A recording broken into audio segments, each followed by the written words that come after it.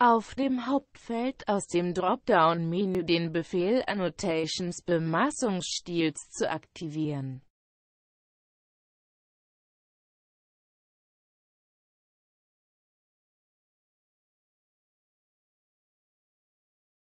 Im Bemaßungsstil Manager Dialogfeld zu konfigurieren, müssen Sie den Befehl Bearbeiten aktivieren.